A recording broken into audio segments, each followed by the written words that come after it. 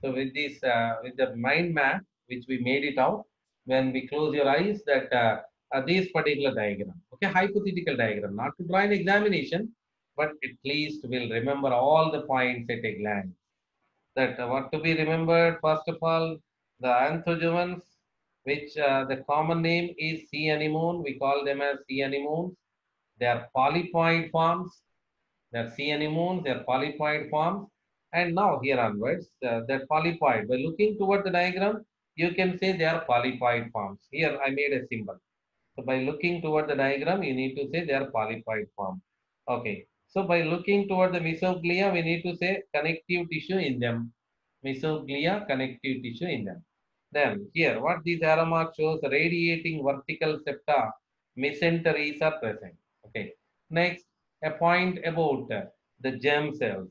The germ cells are derived from endoderm, diagram itself showing.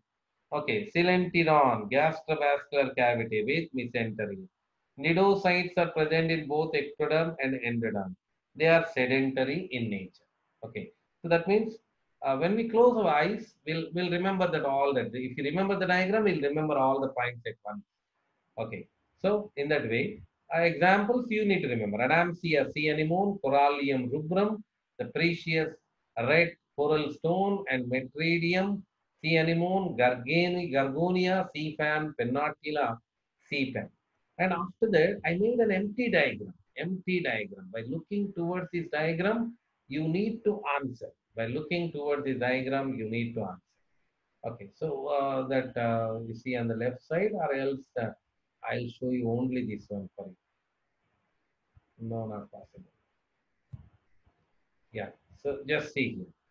Uh, then you need to say that. This means uh, from here, uh, that what is that polypoid form? First thing. Next, the germ cell, that mesoglea is, this is mesoglea, and mesoglea is with connective tissue. Then uh, the gastrovascular cavity, gastrovascular cavity with radiating vertical septa, mesenteries. Next, the endoderm. What is endoderm? Germ cells are derived from endoderm. Then uh, what this says, these are uh, sedentary forms, polypoid forms.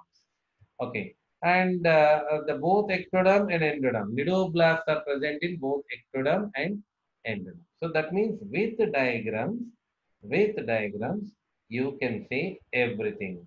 That means you need to say about, we miss this arrow mark. So by looking toward these two arrow marks, we say the cnidoblasts are present in both epidermis and gastrodermis.